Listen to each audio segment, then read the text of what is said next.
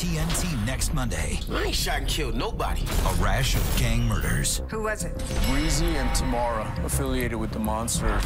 Puts a witness. You're gonna get us killed. In danger. He's here now.